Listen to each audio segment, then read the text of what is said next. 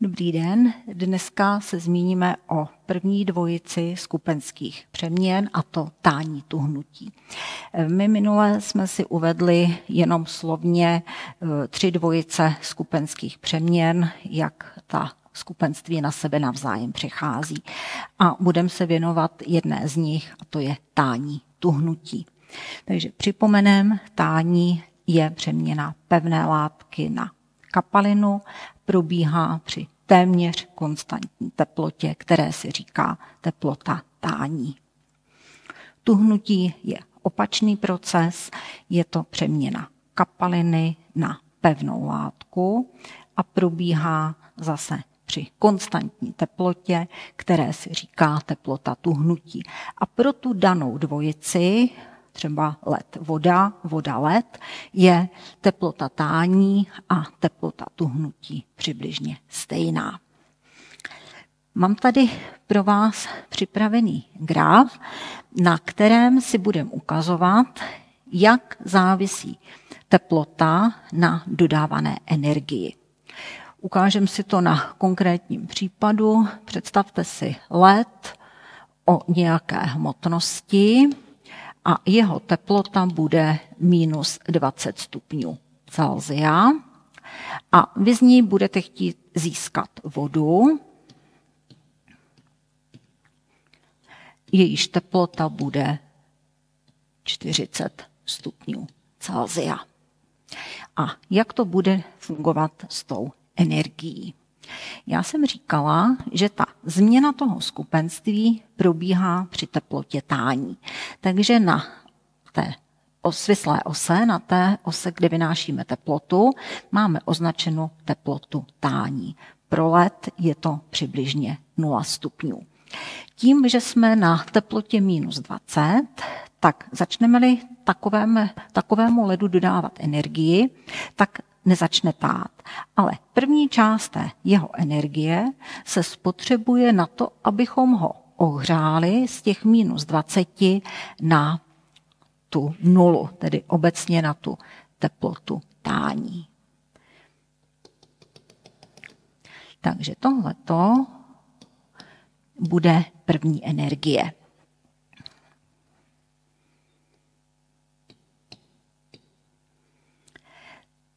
Znovu říkám, je to energie potřebná na ohřátí tělesa, aby dosáhlo teploty tání.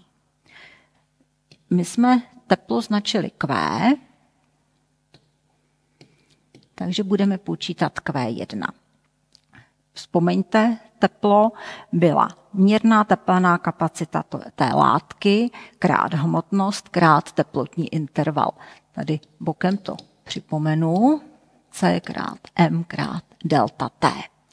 Takže v našem případě Q1 bude měrná teplná kapacita toho ledu, obecně bychom řekli pevné látky, krát jeho hmotnost krát teplotní interval.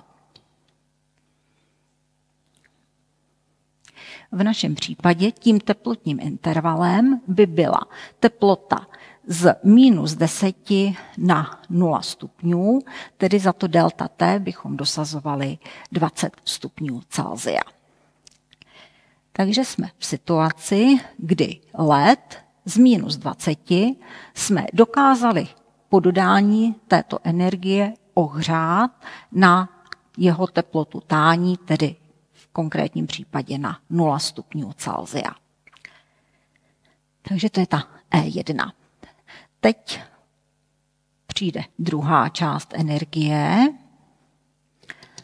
a to bude ta energie, která je potřebná na tu vlastní změnu skupenství, tedy na to rozstavení nebo roztátí.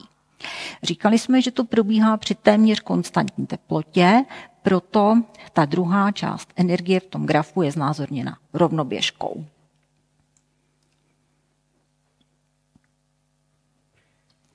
Takže E2 je teplo potřebné na změnu skupenství. Toto teplo nebo tato část energie se značí velkým L s indexem T. A říká se mu skupenské teplotání.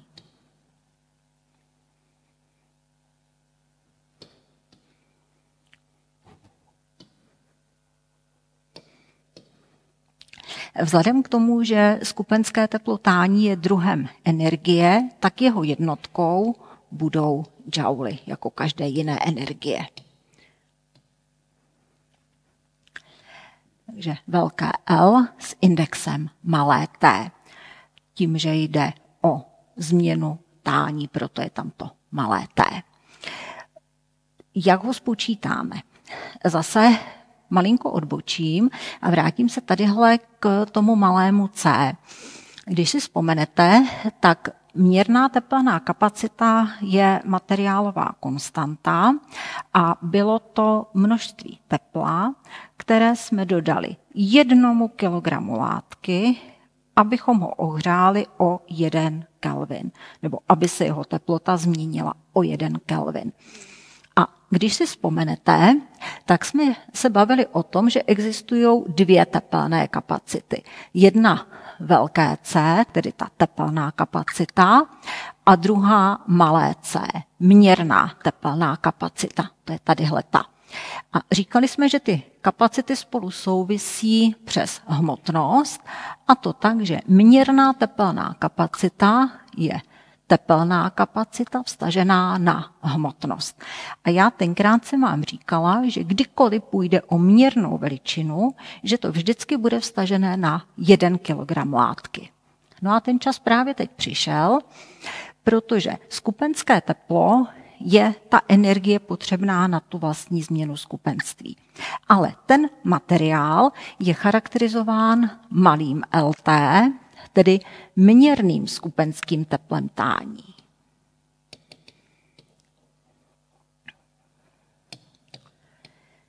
Měrné skupenské teplotání. Analogicky té měrné tepelné kapacitě, tak i to měrné skupenské teplo budeme definovat úplně stejně jako skupenské teplotání vstažené na hmotnost. Pokud jsme říkali,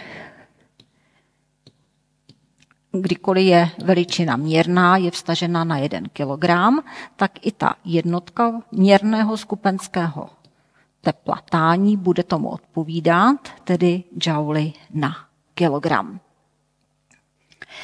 Tak jako jsem vám před chviličkou připomněla definici měrné tepelné kapacity, tak připomenu eh, definici měrného skupenského teplatání. Takže měrné skupenské teplotání je množství tepla, které musíme dodat jednomu kilogramu pevné látky, zahřáté na teplotu tání, aby se přeměnila na kapalinu téže teploty. Takže ještě jednou, je to množství tepla, které musíme dodat jednomu kilogramu pevné látky a ta pevná látka musí mít teplotu tání, aby se přeměnila na kapalinu téže teploty. Takže vztah mezi skupenským teplem a měrným skupenským teplem jsme si řekli, ale pro nás jako energie E2 je potřeba umět vyjádřit to LT velké. Takže druhá energie, tedy to skupenské teplo tání, spočteme jako malé LT krát hmotnost. Zase analogie je tam materiálová konstanta a hmotnost. Vzhledem k tomu, že při této energii se nemění teplota, tak na rozdíl od té předešlé energie, od toho Q1, tady už to, ten teplotní interval není. Takže vracíme se k tomu obrázku. Poté, co ten led dostal eh, energii E2, tak z té definice končíme kapalinou, jejíž teplota je ta 0 stupňů. Ale my chceme ohřát ještě tu kapalinu na 40 stupňů. Takže teď ta třetí energie bude energie, kdy už budeme ohřívat kapalinu. V našem případě vodu.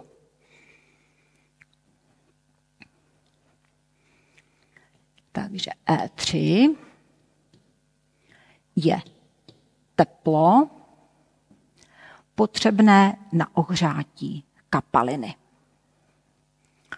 Protože je to stejné teplo, jako jsme si ukazovali v té první části. Jediný rozdíl bude v té materiálové konstantě a pak v tom teplotním intervalu.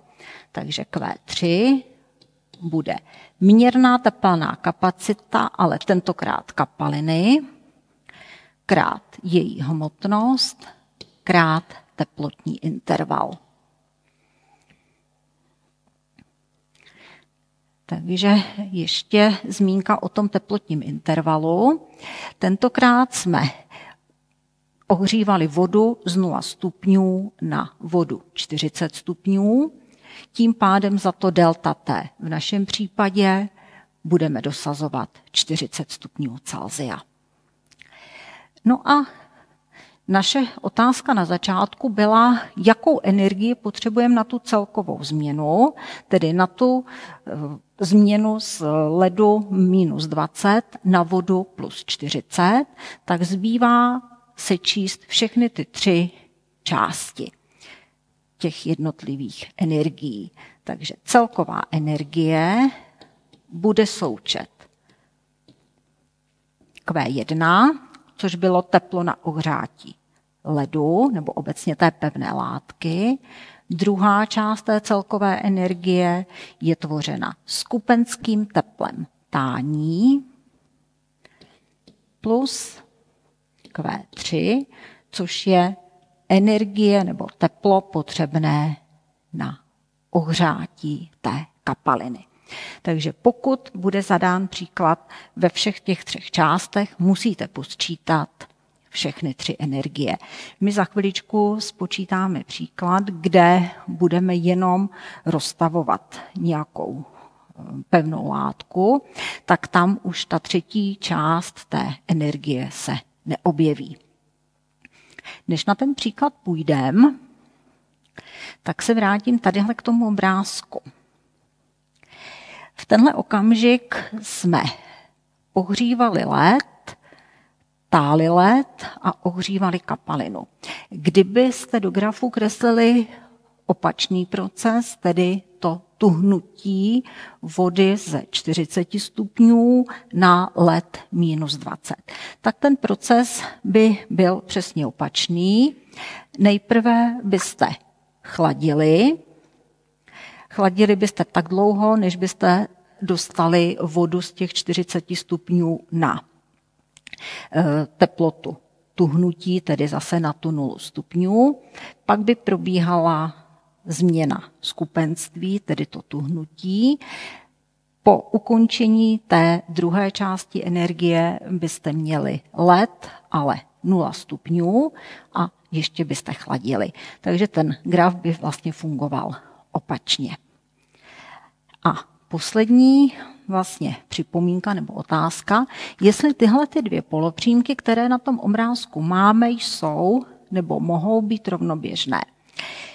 Eh, ne, ne vždy odpovídá to, co nakreslíme takhle od ruky skutečnosti, takže nedívejte se na to, jestli to vypadá nebo nevypadá rovnoběžně, ale zkuste se zamyslet, jestli jsou nebo nejsou ty dvě polopřímky rovnoběžné. Chviličku bych vám nechala na to, abyste si rozmysleli odpověď a pokud jste odpověděli, že nemohou být rovnoběžné, tak jste odpověděli správně. Teď otázka, proč to nemohou být rovnoběžky.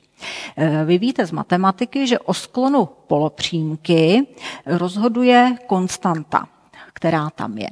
V našem případě konstantou úměrnosti je měrná teplná kapacita. A vidíte, že tady máme mírnou tepelnou kapacitu kapaliny, tady máme mírnou tepelnou kapacitu pevné látky. A je jasné, že ta daná dvojice, led a voda, určitě nebude mít stejnou materiálovou konstantu. Takže tyhle ty dvě polopřímky v žádném případě nemohou být rovnoběžné. I kdyby ten teplotní interval byl stejný. Takže tímhle jsme si připomněli tání tuhnutí jako jednu dvojici. Pro další dvojice by to platilo přesně stejně, akorát bychom neměli, nemluvili třeba o tání, ale mluvili bychom o vypařování. A teď půjdeme spočítat ten jeden příklad. A jdeme na ten zmíněný příklad. Zajímá mě teplo, které potřebujeme na rozstavení 600 gramů olova, teploty 25 stupňů Celsia, když víme, že teplota tání olova je 327 stupňů Celsia. Máme tady ty potřebné materiálové konstanty, to znamená měrnou tepelnou kapacitu 125 joulů na kilogram na Kelvin, a měrné skupenské teplotání olova 22,6 kJ na kilogram. A jenom rozstavíme. To znamená, z těch předešlých energií využijeme pouze první dvě, to znamená, nejprve budeme ohřívat olovo z 25 stupňů na 327 stupňů Celzia a pak budeme měnit skupenství, tedy tavit. Podíváme na jednotky a převedeme. Takže tady kilojouly 22,6 krát 10 na třetí joulů na kilogram a gramy na kilogramy, takže 0,6 kilogramů. Takže první energie E1 je to teplo, které musíme dodat. Olovu o hmotnosti 600 gramů, abychom ho ohřáli z 25 na 327 stupňů Celsia. Takže dosadíme. 125 joulů krát 0,6 a teplotní interval je 302 stupňů. Takže vynásobíte a dostanete první část energie v džaulech. Dopočítáte. Jdeme na druhou energii, což je ta energie potřebná na vlastní změnu skupenství, tedy skupenské teplo tání.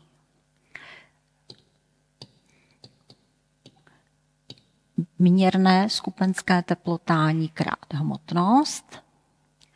Takže dosadíme 22,6 krát 10 na třetí krát 0,6. Zase vynásobíte sami a energie vám vyjde v džaulech.